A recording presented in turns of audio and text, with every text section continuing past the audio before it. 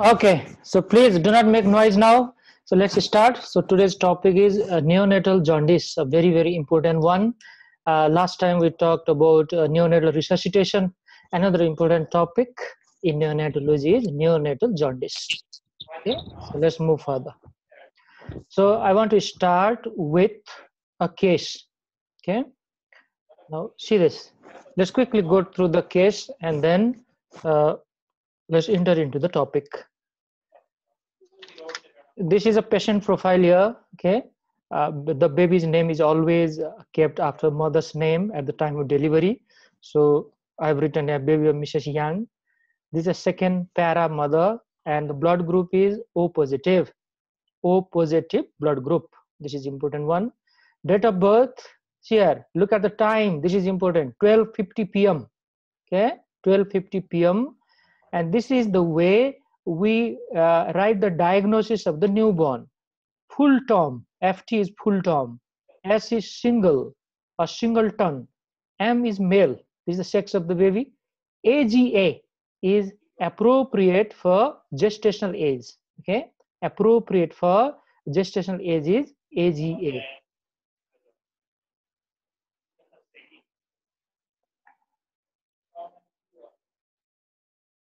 So appropriate for gestational age is AGA.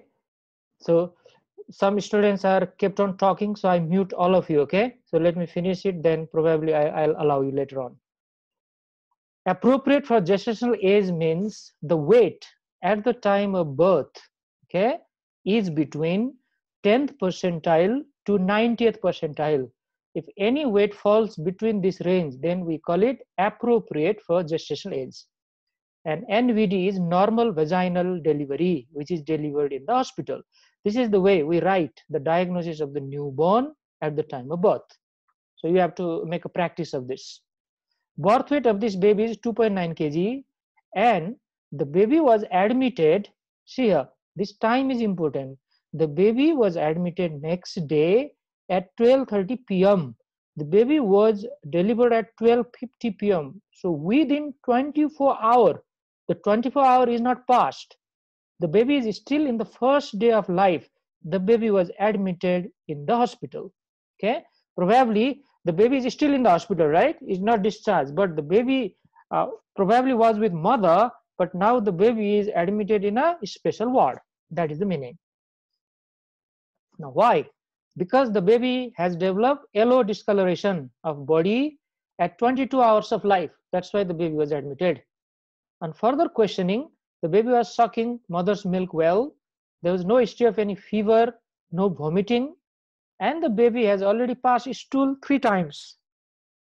Okay, during examination, baby looks very yellow, and urine was also passed. So stool and urine passed within 24 hour uh, in this baby. That is a good thing. Regarding the perinatal history, okay, the perinatal period starts from period of viability that is from 22 or 24 weeks of gestation till 7 days after birth which is called perinatal period. So when we ask the perinatal history uh, there is a Apgar score of 7 by 10 at 1 minute and 8 by 10 at 5 minutes. Okay? Even uh, if they don't write 1 minute and 5 minute you have to understand that if they give these two value. The first one is at 1 minute the another one is at five minutes. So this baby was fine at the time of birth. Score looks quite healthy. Regarding the labor and delivery history, it was unremarkable. Okay, it was unremarkable. There was no problem. No maternal illness was found during pregnancy, and there was no history of diabetes mellitus. These are important history for neonatal jaundice. That's why we have asked this. No maternal drug history very significant. We always ask this question. And the family history of jaundice is always asked. So in this case there was no family history of jaundice. No history of any splenectomy. Now you have studied before in hemolytic anemia. One of the treatment is splenectomy. But there was no such history in this case. That means no hemolytic anemia was running in the family. There was no early gallbladder disease Remember, gallstone can be caused by hemolytic anemia. So these are the indirect question. and there was no jaundice noted on previous baby also. She is a second parity mother, isn't it? So previous baby was also fine. Now, as a doctor, you have examined this baby. So you have found the baby is quite active, alert, and the baby is a term baby. Okay, the baby is full term, full term baby. There was icterus up to the sole. Okay, icterus was present up to the sole that means baby was severely jaundiced already. The vital signs are within normal limit. Respiratory rate is 48 per minute. Uh, normally, it should be less than 60, so it is normal. Heart rate 130, which is also normal, and temperature 37 degrees also fine. Now, this AF is anterior fontanelle. Anterior fontanelle is at level, which is also normal, isn't it? Anterior fontanelle should be at level. And capillary refill time is less than 2 seconds okay capillary refill time is less than two seconds this is also normal. Capillary refill time should be less than two seconds okay? So this is also normal. See here. The weight of the baby was 2.9 kg okay at the time of birth. Ofc is occipitofrontal circumference or head circumference is 34.5 and during fifth semester i clearly taught you what is the normal OFC or head circumference. It is 35. So it is near to the normal. We will take it as a normal one. Length is 49. Normal is 50. So it is also considered normal here. There is no history of any bruising or no cephalhematoma or no finding, I should say, because we are examining the baby. So no finding of bruising or no cephalhematoma present. Okay? Cephalhematoma can also lead to jaundice. That's why it has been examined. The hydration status was maintained. The baby was not dehydrated. Tone and reflexes are normal and all the systemic examination is within normal limit. Okay. All the systemic examination is within normal limit. Okay. Now see here.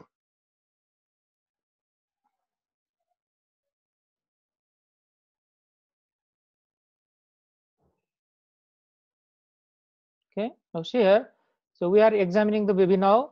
So they have done total serum bilirubin at 23 hours of life and that total serum bilirubin is 22.3 milligram per deciliter. So the normal uh, total serum bilirubin should be less than 5. Okay, it should be less than 5 in the neonate. If it is less than 5, there is no jaundice. But it is 22.3 there. So it is very high. Baby blood group A positive mother's blood group was O positive here. So it's not matching. Okay. Baby admitted in neonatal unit and phototherapy started. This is the treatment of jaundice and breastfeeding was advised every two hourly. Now, what, what the doctor did in the hospital, you need to be, need to know that. They have repeatedly done total serum bilirubin at 60 hours. It is 19.6 now. It slightly dropped. Direct Coombs test was done this is negative and this direct Coombs test is mainly done for autoimmune type of hemolytic anemia. Okay, so it was uh, negative here. Okay, it was negative. Osmotic fragility test was normal. So this is not a case of hereditary spherocytosis. G6PD test was also normal. Okay, G6PD test was also normal. So this is not G6PD deficiency. They have done peripheral smear which shows normocytic, normochromic RBCs and no features of hemolysis. Reticulocyte count was 5% and this strongly tells us that hemolysis is going on there. Okay? This tells us hemolysis is going on inside the blood. Hemoglobin was already dropped to 13.6. Okay, this should be gram. Okay, you need to correct it. This should be gram per deciliter, and platelet count is within normal limit. Uh, look at TSB or total serum bilirubin at 72 hour it further increases now. At 66 hour it was 19.6 and at 72 hour or 3 days of life it reaches to 26 so it is increasing. Now what have they what have they done further? Phototherapy was already started so it was continued. The baby remained quite active during that period. Baby was sucking well on the breast. There was no dehydration no fever, and stool and urine was passed normally, at, but the icterus gradually reduced from soles to face now. because of this phototherapy probably this is the treatment of uh, jaundice so it gradually decreases. That is a very good point for the baby. Now on day 6 of hospital admission the total serum bilirubin was dropped to 14.4 milligram per deciliter. Okay? So it is decreasing pack cell volume was 40 percent and they have discharged the baby with final diagnosis of ABO incompatibility.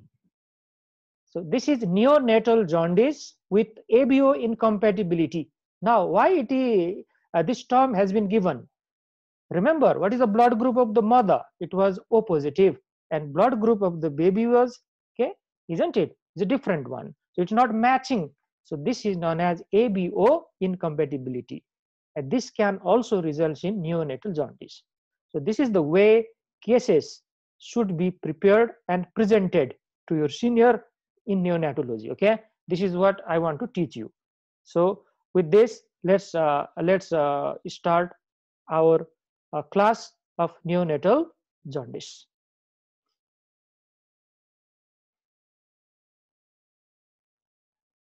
Now, Jaundice is a clinical condition characterized by yellowish discoloration of sclera, mucous membrane, and other body parts due to accumulation of bilirubin. Now, jaundice is uh, you know, also known as hyperbilirubinemia. That means there is excessive deposition or accumulation of bilirubin in certain areas of our body, which results in yellowish discoloration of sclera or mucous membrane. Now, in comparison to the adult, the uh, neonatal jaundice is slightly different. Now, what's the difference here? You need to know that. The clinical jaundice in the neonate becomes apparent only when serum bilirubin concentration is more than 5 milligram per deciliter. In adult, if it is more than 1 or 2 milligram per deciliter, they, they look slightly yellow. But in newborn, uh, it should be more than 5. And this neonatal jaundice is very common in the normal newborn. It's almost present in more than two-third of the normal newborn. 65% means almost two-third of the babies.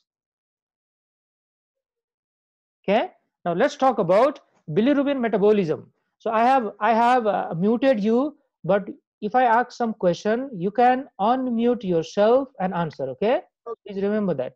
Yeah because there's a lot of uh, noise coming for we have to do this. Now here how bilirubin is produced? How bilirubin is synthesized or formed? Now the source of bilirubin is rbc okay? When rbc is broken okay? When rbc is broken then bilirubin is formed. When rbc is broken or especially when the hemoglobin is broken hemoglobin is present inside the rbc so it's the same thing okay? From the heme bilirubin is formed okay? The one of the metabolite is called biliverdin. And from biliverdin with the help of biliverdin reductase enzyme bilirubin is formed. Now this bilirubin will bind with albumin and it is going towards the liver. Now what is happening there? Okay let's talk about it. See here inside the blood the bilirubin is formed already. This is unconjugated bilirubin because conjugation occurs inside the liver. This unconjugated bilirubin uh, let me use some of the highlighter so it will be easy for you to to note it okay? Yes so this unconjugated bilirubin combines with albumin and this this uh, goes towards the liver. When it reaches hepatic sinusoid only the bilirubin will enter into the liver and albumin remains outside. Now this bilirubin will be conjugated okay? The bilirubin will be conjugated. Now can you tell me which enzyme is that which conjugates the bilirubin? Anyone? Very good. Very good. Very good. This is glucuronide transferase or UDP glucuronide transferase. Excellent. Okay. You can unmute yourself now. So after this, this bilirubin will be excreted in the biliary tract or in the biliary system. Okay.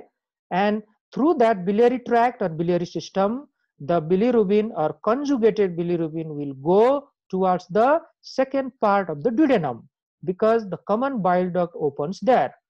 But inside the intestine now, there are bacteria which are normal flora. These bacteria have protease enzyme. So this bacteria will break down this uh, conjugated bilirubin and some of the conjugated bilirubin will turn back into unconjugated bilirubin and some other will turn into urobilinogen. Now, around 10% of the urobilinogen will be reabsorbed back into the portal circulation and reach to the blood again or towards the liver. And other 90% will be excreted in the feces. But there is one extra thing which is forming in between. Urobilinogen will turn into stercobilinogen, then stercobilin, and that stercobilin will be excreted in the fecal matter. Now, one very important point here, the color of the feces, that slightly yellow color of the feces is because of this substance known as stercobilin. Okay, never forget this. Now, what happens in obstructive jaundice? If the there is complete blockage of the bile duct, no bilirubin is passing into the small intestine. What would be the color of the stool in that case? Yes. Clay color. Clay, clay color. Clay Pale, pale Very, very, very good. color. Very good. It is uh, called clay color, or you can also say very pale looking stool. Okay, clay color or very pale looking stool. Excellent.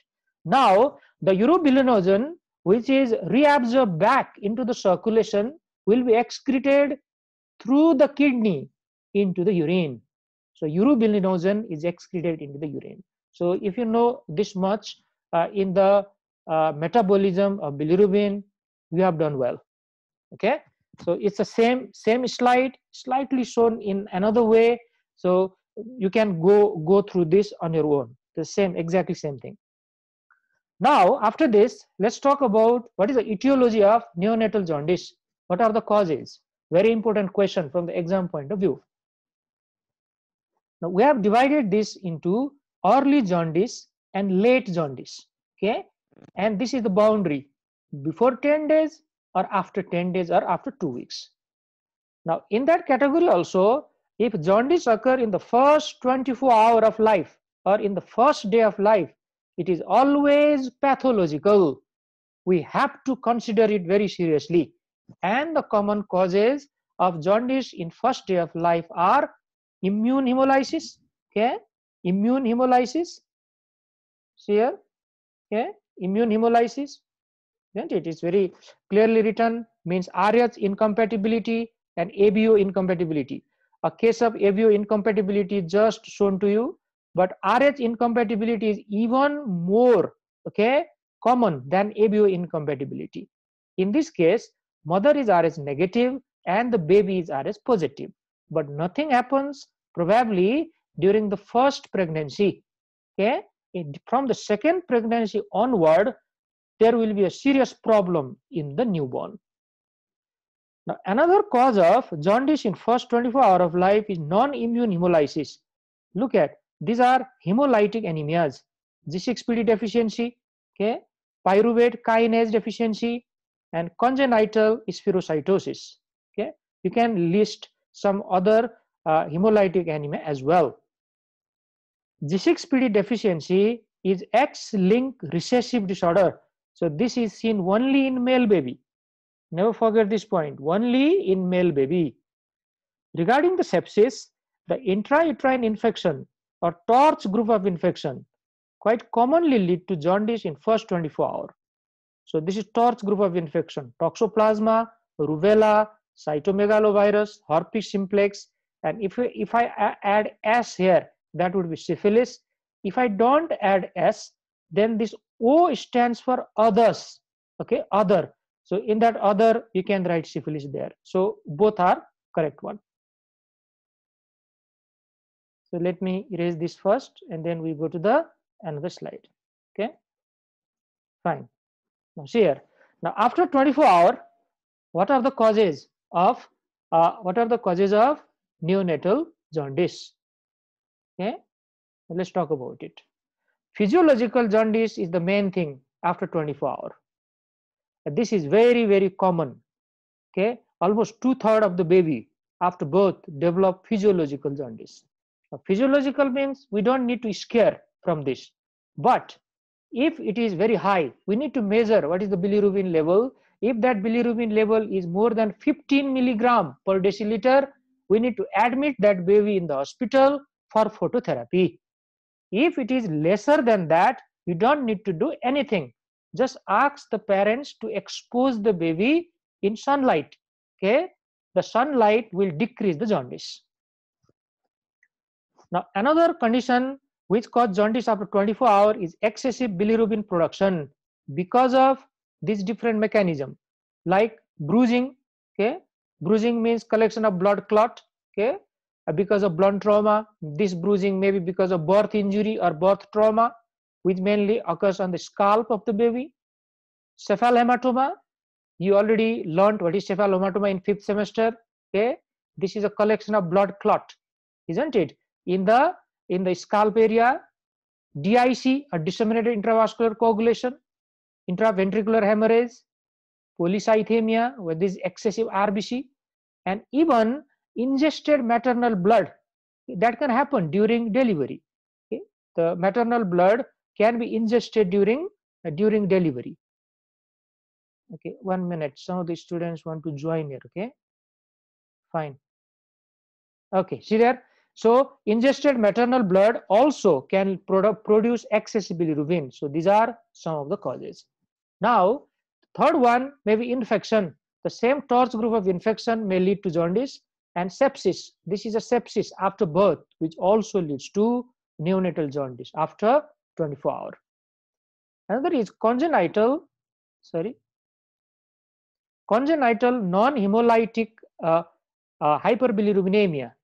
Now, these are the congenital condition and these are not hemolytic anemia like Crigler-Najjar syndrome, Gilbert syndrome. Okay, these two are quite familiar name. We are not new to this term. Gilbert syndrome and Crigler-Najjar. Even in medicine, uh, you have heard this. So uh, in in both of these conditions, there is problem with that UDP glucuronide transferase enzyme. Crigler-Najjar is very serious disorder. Gilbert is a very very benign one. Metabolic metabolic disorders like galactosemia okay it also leads to jaundice and some of the congenital hemolytic disease which can lead to jaundice in first 24 hour of life can also lead after 24 hour. The same condition like G6PD deficiency pyruvate kinase deficiency and congenital spherocytosis okay let me erase this otherwise you know it will cause a bit of problem for us fine.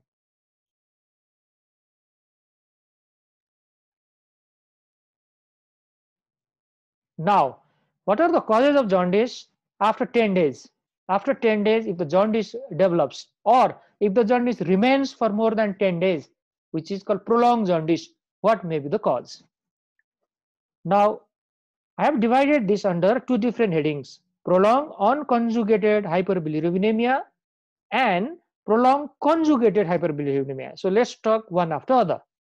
So this is this jaundice is caused by breast milk, which is known as breast milk jaundice, because in the breast milk there is inhibitor of glucuronide transferase present. But frankly speaking, many baby they don't develop any breast milk jaundice, but few of them may develop. So we cannot guarantee which babies are developing that. Okay, so you don't need to stop breastfeeding after breast milk jaundice. But if jaundice is excessive if the baby needs to be admitted in the hospital then for a short duration we may stop breastfeeding otherwise there is no need. The same sepsis if it persists for a longer duration will lead to prolonged jaundice. And some of the metabolic condition among them hypothyroidism is the very very important one. Okay Others are quite rare. Galactosemia, fructosemia, and cystic fibrosis. These are not common disorder. But hypothyroidism in the newborn may be very common. Okay. So why? The question is why it, it leads to prolonged jaundice.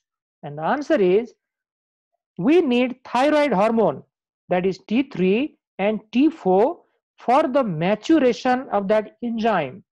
Again, that enzyme is glucuronide transferase That means the glucuryl transfer is immature. It cannot function properly, which leads to prolonged jaundice. So one lesson you have learned from this class, if a baby develops jaundice for a longer duration, the jaundice has appeared quite early, but it has not disappeared. Don't forget to order thyroid function test or TFT. And we all know what is TFT, isn't it? T3, T4, and TSH. So you need to order those. Other mechanism may be increased enterohepatic circulation. Okay, the the bilirubin is revolving between the liver and intestine. This occur in these following conditions like intestinal obstruction. Okay, nothing is passing beyond, so uh, the bilirubin is getting absorbed and recirculating. Pyloric stenosis, same type of condition. Intestinal atresia. Okay, the intestine is not formed properly.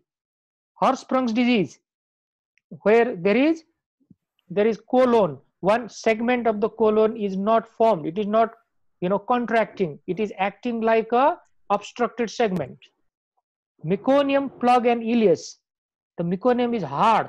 It is blocking the flow inside the intestine. So all these uh, can increase enterohepatic circulation and lead to jaundice now this is very easy for you. Hemolysis can lead to jaundice in any period of life within the first day, in second day of life, after that, and even after 10 days, and even in the adult. So similar type of conditions are written here. Vitamin E deficiency can lead to hemolysis because vitamin E is a non-antioxidant. If that is deficient, then the particular child or adult can have hemolysis. Okay. Now the another part is left behind. This is prolonged conjugated hyperbilirubinemia. Now, let me uh, uh, repeat a little bit here. Inside the liver, the unconjugated bilirubin will be converted into conjugated one. Then only, remember that, then only that bilirubin can be excreted in the bile. Without the conjugation reaction, bilirubin is no more water soluble and water soluble bilirubin okay is only present in the bile. The unconjugated bilirubin maybe a small amount is present but it is not a significant way of excretion. So in neonatal hepatitis okay there is conjugated hyperbilirubinemia and these are the cause of neonatal hepatitis. You just need to remember the term neonatal hepatitis here okay? Let's not complicate the things. Uh, these are all the very rare condition which can lead to neonatal hepatitis. Mostly it is idiopathic and caused by infection. Now another easy mechanism you need to understand is bile duct obstruction. If common bile duct or intrahepatic ducts are blocked, then hyperbilirubinemia will occur and that hyperbilirubinemia is conjugated type. The common causes are biliary atresia, okay, choledochal cyst, which is a bit rare, ascending cholangitis, there is ascending type of in, infection which is going from, from the intestine and climbing up towards the liver, okay, and bile duct stenosis may be some other cause. Now, there is one autosomal dominant condition which is a very rare known as Alagille syndrome. In Alagille syndrome, there is paucity or lack of intralobular bile duct. Now what will happen? If bile duct are lacking, that means the conjugated type of bilirubin cannot flow towards the intestine, which can lead to conjugated hyperbilirubinemia. So very easy explanation there. Now we are moving on to the very clinical part of this topic. Okay, always i i this is one of the content in my teaching because we are going to be a doctor. When i start working in the hospital if i don't know how to take history okay it will be a real problem. So how to take this history in a case of neonatal jaundice? See here. History of present illness should be asked in detail like what is the age of the baby? We always ask this question. What is the sex of the baby? If the sex is male baby probably g6pd deficiency may be the cause but other so many causes are there okay? When jaundice was first noted in first day of life after first day of life okay or later on? Very very important question. If it is noted in the second day of life the most common cause is physiological jaundice. Was the baby term or preterm? Important question. Preterm baby have higher chances of neonatal jaundice than term baby. What is the birth weight of the baby important question.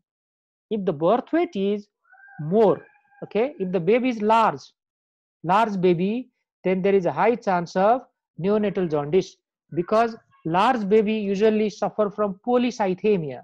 They usually suffer from intrauterine hypoxia and intrauterine hypoxia can lead to polycythemia again okay? Is the baby sucking well? Very important question because sick baby has higher chance of jaundice and sick baby will not suck well on mother's milk. What is the color of stool and urine? Many students have already answered to me. In case of obstructive jaundice the color of the stool is pale or clay colored but the color of urine is high colored because the conjugated bilirubin will be excreted in the urine. Okay? What is the frequency of stool and urine passage? Now think about intestinal obstruction. Think about those diseases which were listed. They can cause increased enterohepatic circulation and that can lead to excessive jaundice. Asks about history of fever vomiting and abdominal distension. They are very common in sepsis and neonatal sepsis is a very important cause of neonatal jaundice. At the same time in horse Hirschsprung disease in intestinal obstruction or in pyloric stenosis vomiting and abdominal distension are quite common but there is usually no fever asks about whether the baby have seizure or not and seizure in case of neonatal life is a feature of neonatal sepsis again. Does mother think baby is sick? Especially this question is important if the baby is delivered at home, okay, or if the baby is already with mother, because mother's uh, observation should never be ignored. Okay, mother is always right, we say. So this is very important question. Okay, fine. So let's start again. We are talking about what are the important history uh, we should take in a case of neonatal jaundice. Now, in case of labor and delivery history, you need to ask whether there is any instrumental delivery or not, like vacuum or forceps delivery, because they can lead to trauma on the scalp, which can lead to cephalohematoma and then neonatal jaundice. Use of oxytocin can result in neonatal jaundice. It is said that because of displacement of bilirubin from the albumin site, the jaundice can be there. Asphyxia is a very important cause of neonatal jaundice and delayed cord clamping as a result of more blood flow towards the baby. It may be a cause of polycythemia, which can result in jaundice. So look at the importance of uh, taking labor and delivery history we always ask about maternal history of fever, illness, and history of maternal diabetes. Now, this maternal diabetes can be of two type. One is gestational diabetes, which is developed uh, during this pregnancy, and another she may be diabetic from before. Okay, both are important point. Now, regarding the family history, I have already talked a lot before. We should ask about history of jaundice in family, anemia, if runs in the family or not, any step splenectomy or early gallbladder disease, all of them denote hereditary hemolytic anemia which runs in the family. So who knows, this newborn may be having the same or similar type of disorder. This liver disease can also run in the family, okay, as a different hereditary condition, galactosemia, tyrosinosis, alpha-1 antitrypsin deficiency, Gilbert syndrome, Crigler-Najjar syndrome, and cystic fibrosis. Many of these metabolic disorder are uh, you know run in the family because of autosomal recessive way okay? Autosomal recessive way. This is how we remember asks about history of sibling with jaundice we would need phototherapy okay? Before for example uh, brother or sisters who are elder than that this baby who knows? Those babies were also needing phototherapy at that time. Any history of exchange transfusion or anemia? These these are a very very good clue to to this baby. History of consanguinity. Consanguinity is marriage between close relative. Now Eh, during my classes or lectures i have told this many times. Autosomal recessive disorder are quite common in consanguineous marriage. All the so autosomal recessive which are listed here okay? So this is a good question to ask. Now after finishing history let's examine this baby. What are the important point? It always start with general appearance whether the baby looks sick or active or healthy?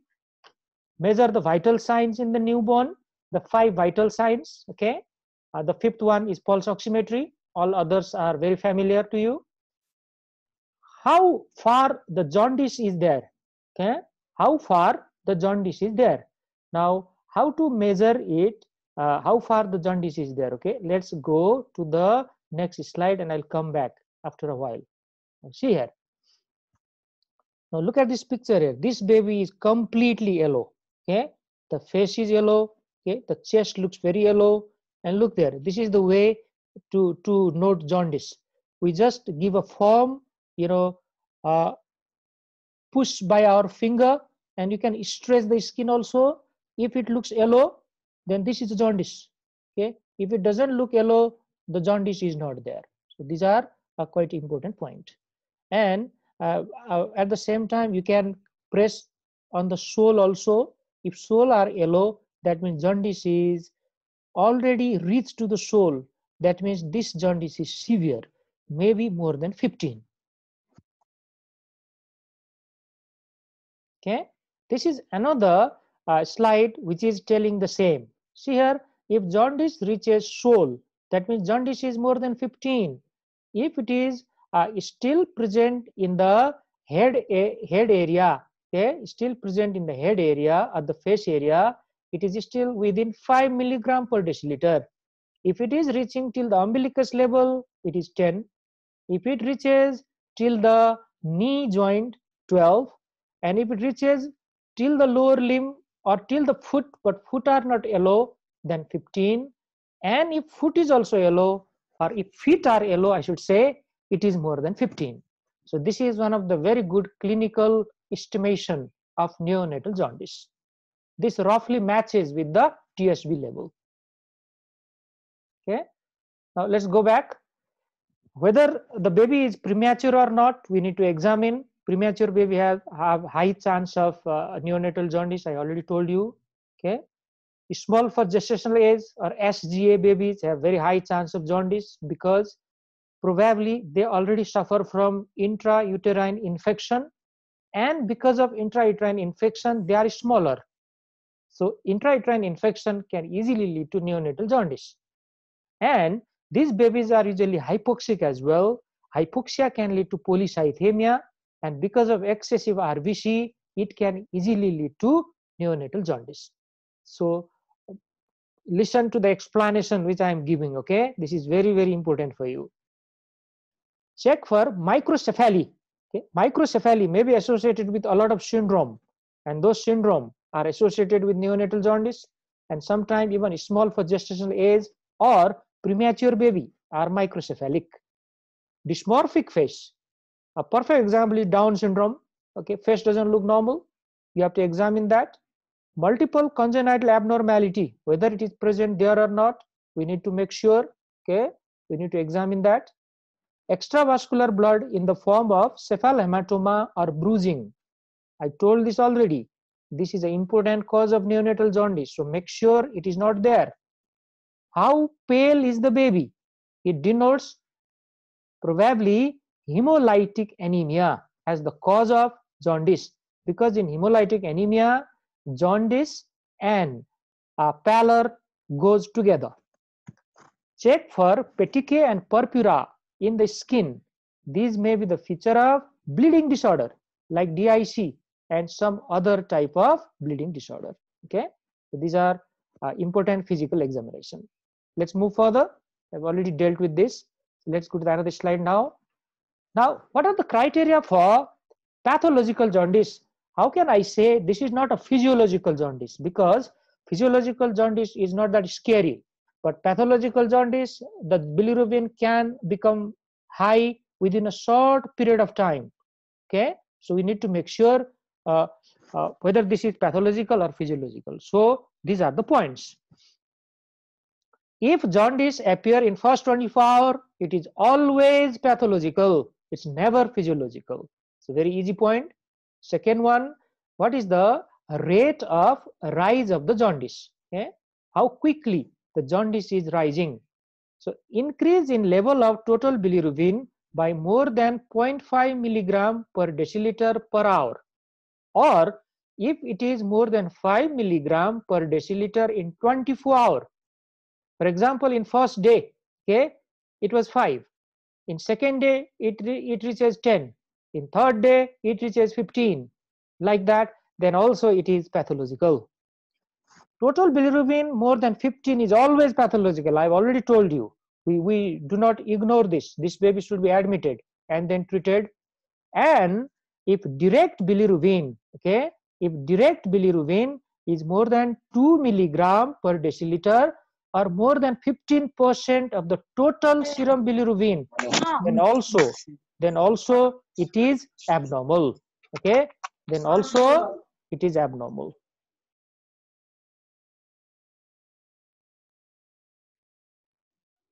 Now what are the investigation? We like to order in the case of neonatal jaundice let's talk about it now those investigation should start with total serum bilirubin or tsb isn't it? That is the first thing. Now, with total serum bilirubin, okay, direct serum bilirubin is always done, and indirect serum bilirubin or unconjugated bilirubin we calculate. If we subtract direct from the total, indirect will come. What is the blood group of the baby, and what is the Coombs test status of the baby? We should go for this. Now, direct Coombs test is positive in case of autoimmune hemolytic anemia. Autoimmune hemolytic anemia. I have i have muted you all because some of the students they never listen okay? They're making a lot of noise that's why. Now the third one blood grouping and antibody screening of the mother should be done. We should know what is the rh status of the mother? Whether she is rh negative or not. Is there any abo incompatibility or not? Okay that is very important knowledge. And what is the antibody screening of the mother? If antibody uh, test comes positive in the mother we call that indirect Coombs test positivity. So i think i have explained this before okay in my prior lectures. Don't forget to see peripheral smear of rbc morphology and reticulocyte count. They are abnormal in hemolytic anemia. Reticulocyte count is always high in hemolytic anemia okay? It is usually high in hemolytic anemia. Check about hematocrit as well as hemoglobin level they decrease in hemolysis. Direct bilirubin is always examined. And one important point if direct bilirubin is higher it shows this is a case of obstructive jaundice okay there is some obstruction to the bile flow if you suspect G6PD deficiency in a male baby, go for the screening. Do G6PD screening and you will get the diagnosis. And if that baby is sick, if you think baby is septic, go for CBC or complete blood count, blood culture and sensitivity, urine routine examination and culture and sensitivity, chest x-ray as well as CSF analysis. This is done by lumbar puncture. So see there, this is a full septic screening. I have done CBC with blood culture, urine routine examination and culture, chest x-ray and CSF analysis. And if the baby is septic, we, we will find out after this test comes, comes back from the lab. Now, what are the what are the other investigation we like to do? Okay, what are the other investigation we like to do here? Okay, see this. Now, in prolonged jaundice, LFT or liver function test, torch screening, and VDRL screening. This VDRL screening is done for syphilis. sepsis okay thyroid function test i've already you know explained this point to you any other metabolic defect like galactosemia in galactosemia there is appearance of galactose in the urine. And galactose is a type of reducing sugar. So these are some of the important points check about the blood sugar. And blood sugar may be uh, decrease in case of infant of diabetic mother. Okay? It is decrease. It is not increase. Hypoglycemia is very common in infant of diabetic mother. And infant of diabetic mother has very high chance of jaundice examine prothrombin time and other like APTT, okay, fibrinogen level and all those things. If you suspect DIC and uh, try to diagnose uh, extrahepatic biliary atresia and choledochal cyst by doing ultrasonography of the abdomen. If necessary, go for CT scan as well. So these are some other investigation to find out what type of jaundice is there, whether unconjugated or conjugated. Now we have come towards the last part of this uh, lecture that is management, which is very very important from the exam point of view. Not only from the exam, okay, from other aspect also. If you want to be a good doctor, these are absolutely important point. Now the first type of management we do is phototherapy. Okay, phototherapy. Now how this phototherapy helps and how we do it okay so listen carefully. In phototherapy the baby is completely naked and this nude or naked infant is kept about 45 centimeter from the light source okay? It is 45 centimeter. So this distance is very very necessary. Otherwise if it is lower than 45 it will give too much heat to the baby. The baby will be heated up. And if it is a bit far away it is not effective the type of light here is called blue light and this has a spectrum of 420 to 460 nanometer. This is called wavelength of that blue light. Okay, this is this is necessary, and when we when we uh, uh, give phototherapy, we need to cover eye and genitalia, cover eye and genitalia because they will be damaged by the persistent exposure to the light okay this is important point. For the maximum area of exposure we need to frequently change the position of the baby. Frequently change the position of the baby so that it will be highly effective. And meanwhile we need to measure whether our phototherapy is effective or not by uh, sending total serum bilirubin to the lab. If it is declining by 1 to 2 milligram in four to six hour that means you are doing good job. The phototherapy is helping the baby. Okay? These are some of the important points. Now they may ask you what are the untoward effect or some unwanted side effect of the phototherapy? Those are loose green stool dehydration hyperthermia or increased temperature and bronze baby syndrome. Now this bronze baby syndrome means this baby okay especially if they have more of conjugated type of bilirubin then that conjugated type of bilirubin may turn into bronze color which is called bronze baby syndrome. And that's why only unconjugated bilirubin or hyperbilirubinemia is treated by phototherapy okay? Conjugated bilirubin is not decreased by phototherapy that is not the treatment. Actually we should find the cause for that and go for the management. Now look at this picture here okay?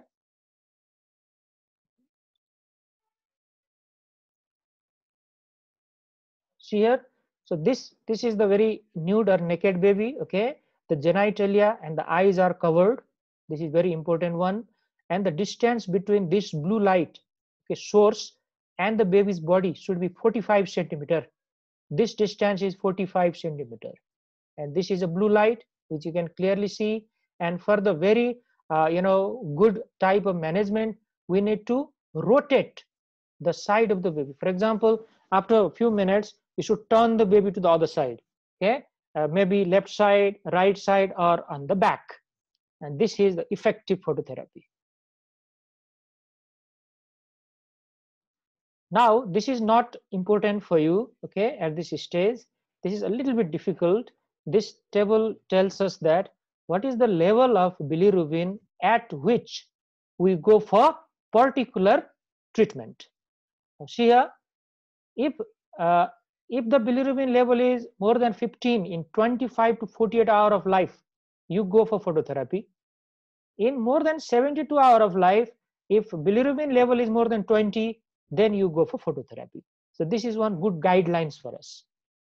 If bilirubin is very high, you can consider exchange transfusion if phototherapy fails. And exchange transfusion is always necessary at this level. Look at the level of bilirubin here. In second day of life, the bilirubin is more than 25. We can never ignore this. This bilirubin can seriously damage the brain. So exchange transfusion with intensive phototherapy is necessary. Okay, this is the meaning uh, of the table. And this is for the preterm infant now. Okay, similar type of uh, you know uh, explanation for the preterm infant. Remember, the level for preterm infant would be much lower than the term term baby because the blood-brain barrier of the preterm infant will develop much later than the term.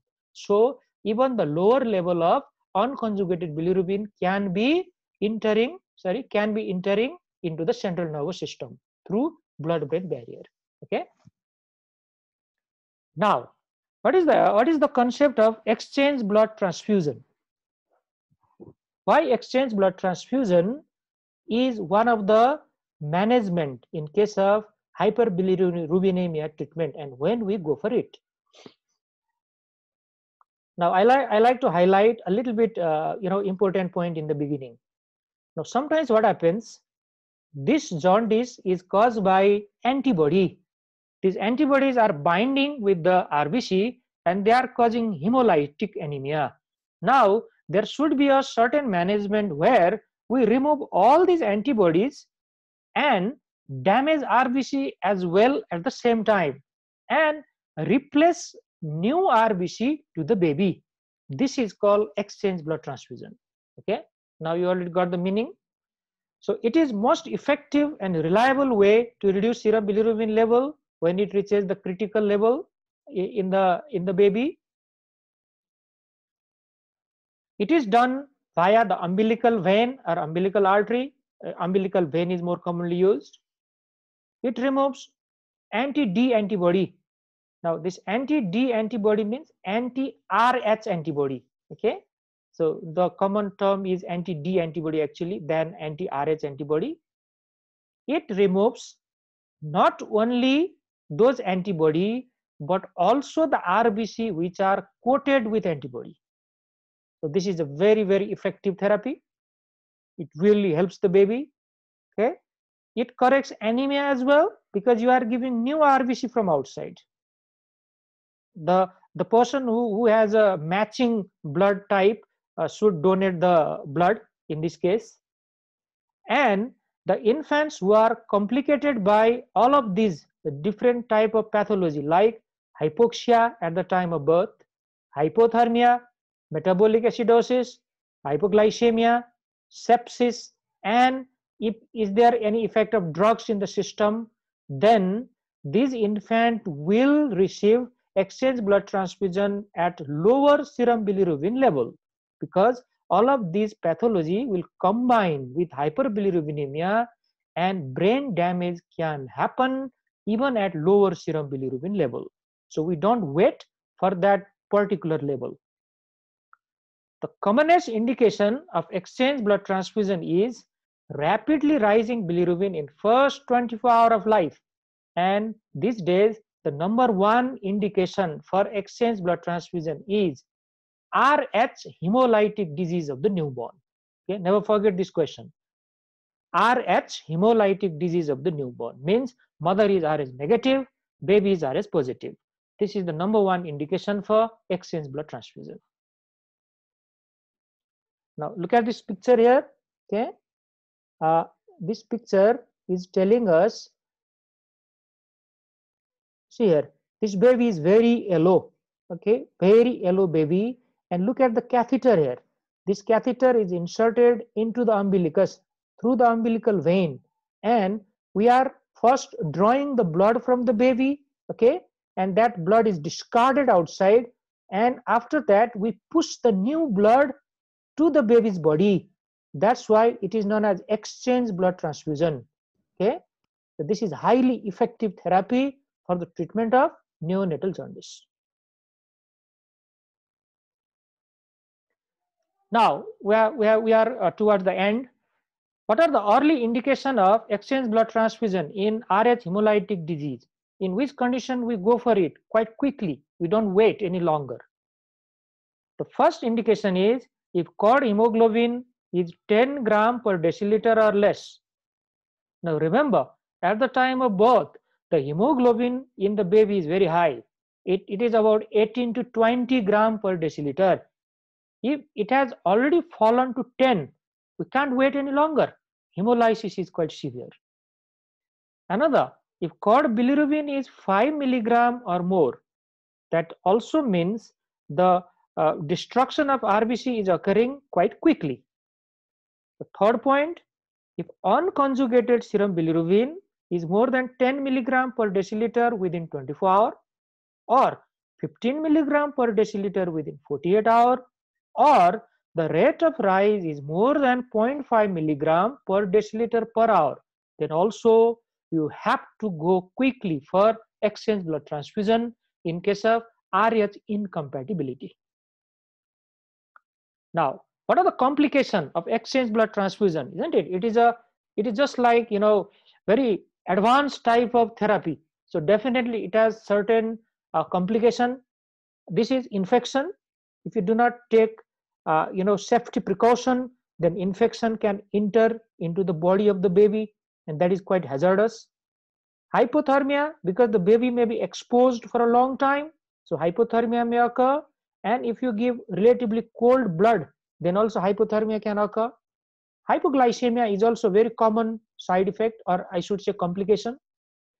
Cardiovascular instability may occur because you are giving uh, you know uh, fresh blood from outside. If the if the amount of blood is high if there is a more uh, you know plasma rather than hemoglobin then that can happen. Electrolyte disorders like hyperkalemia or hypocalcemia can occur very easily or commonly okay? Because this calcium uh, sorry potassium can be released from those rbc some of the rbc if they are old they will be hemolyzed very easily. Complication of catheter may be there. One of the very very important question you will be asked in future exam is portal vein thrombosis is associated with uh, exchange blood transfusion during the neonatal life. Now see there. This is the damage done to the umbilical vein because of that catheter. And later on that baby may develop portal vein thrombosis okay? And inadequate exchange is always a complication. Maybe because of some uh, you know complication you have abandoned uh, the the procedure in the middle and that is not helping the baby because baby needs exchange transfusion to treat this severe jaundice. Now i'll make this as a last slide for today. These are the supportive therapy which are important in neonatal jaundice. One, adequate feeding should be continued. Okay, the breastfeeding should be given if the baby can feed on the mother's milk. If not, probably IV fluid or other way of feeding. Treatment of sepsis if the baby is septic. If CBC is abnormal, if blood culture is positive, I should always treat with antibiotic. Correction of acidosis, okay, go for the cause of acidosis first and then if necessary you need to give sodium bicarbonate as well. Phenobarbital remember this is a sedative and hypnotic drug but this phenobarbital is a very important inducer of cytochrome p450 enzyme system. And this udp glucuronide transferase is a member of that system. That's why phenobarbital by inducing that hepatic enzyme is helping to resolve okay unconjugated hyperbilirubinemia. So in the exam they may ask you this this name of the drug. Which drug you want to use? It is phenobarbital. Remember this. But some side effects would be there. The baby will be very sleepy or drowsy. If uh, cephalohematoma is causing uh, uh, this uh, neonatal jaundice we should go for aspiration. If it is quite big enough then only go for it otherwise it will be more harmful for the baby because you may introduce infection avoid vitamin k in large dose okay vitamin k is usually given uh, in case of complicated babies after birth because they need vitamin K injection. But this vitamin K may aggravate jaundice. Another point, exclusion of lactose and fructose from the diet when galactosemia and fructosemia are suspected because they may harm. Okay, so these are excluded. And one important uh, substance, a drug known as albumin, can be given Remember the metabolism of bilirubin here. What happens to the unconjugated bilirubin after production? It will bind to the albumin. So this is the logic why we give albumin in the treatment of unconjugated hyperbilirubinemia. And that is given in the dose of 1 gram per kg of 5% salt-free albumin one hour before the exchange transfusion and this achieves 50% more effective exchange by removal of bilirubin. It really helps the exchange transfusion in a better way. Okay, so this is one of the option. Okay, now at last we talk about bilirubin encephalopathy or kernicterus. Now, acute stage of kernicterus is also known as uh, bilirubin encephalopathy. Now, what is this? Now remember, this total serum bilirubin is mainly unconjugated variety in this case. In case of uh, newborn, whatever causes are there, okay, the most common uh, you know type I'm talking about uh, that is unconjugated hyperbilirubinemia. That unconjugated uh, bilirubin can cross the blood-brain barrier, especially if that baby is sick or ill because of sepsis okay uh, or uh, because of any other uh, causes like CNS infection may be there sometimes sometimes hypothermia may be there sometimes acidosis may be there all these will you know cause easy entry of uh, that unconjugated bilirubin into the brain okay? Because blood brain barrier integrity will be altered. This can occur even easily in case of preterm babies. That's why in preterm or premature baby, even if they are having much lower uh, level of uh, unconjugated bilirubin or total serum bilirubin, okay, if they are sick, we should do early exchange transfusion or early phototherapy. Now with this knowledge, let's go into the topic. It is a neurological syndrome due to deposition of unconjugated bilirubin in the basal ganglia and brainstem nuclei especially the basal nuclei or basal ganglia region is affected. They will get stained or they will get damaged by bilirubin. Now this usually occurs in first week of life and it really depends how high is the serum bilirubin. I already told you in a relatively normal baby, the serum bilirubin levels should be very high to have kernicterus. But if they are relatively sick or ill, then even at relatively lower level of bilirubin, kernicterus can happen. Now the pathogenesis is multifactorial. We need three things together. Look at this triad here. Uh, total serum bilirubin is one. Maturity of that baby is another one. In premature baby, it has more chance of development. And integrity of blood-brain barrier is the third thing. The blood-brain barrier is intact, uh, which happens in a healthy term baby probably the chance would be less. But if it is already changed or altered because of some ongoing diseases, then the chances are quite high. Now, what will happen to the baby in kernicterus or bilirubin encephalopathy? Now, we divide this into two forms, acute and chronic. Now, acute form, again divided into three phases, phase one, phase two, and phase three. In phase one, there is poor sucking uh, from the, the mother's breast stupor or extreme drowsiness. Now the baby develop hypotonia, a decreased tonicity of the muscle, and seizure. Phase two, after a few days, hypertonia of the extensor muscle will develop now. There may be arching of the back, which is called opisthotonus position, and baby may be slightly febrile. And phase three, again, hypotonia, you know, stage would come back. Now, chronic form, if that baby survive, you know, be, be, become a bit uh, older child, during first year, hypotonic feature, okay, would be there, but if we examine the deep tendon reflex, they are exaggerated or active, and this baby will have delayed motor skill or delayed developmental milestone. This is the origin a point about kernicterus. And after first year of life, there may be movement disorder, different types of involuntary movement may be there. The baby may have a upward, upward gaze or abnormality in the gaze and even hearing loss, that is sensorineural hearing loss. Now, what can we do to prevent uh, from this kernicterus to happen?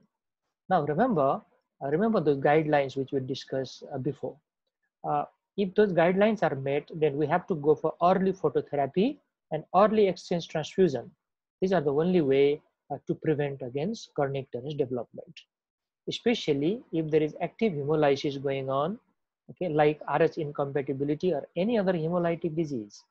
Or sometimes if the baby is sick, okay, even with a lower bilirubin level, we have to think about doing phototherapy and exchange blood transfusion early so that the baby will not get kernicterus.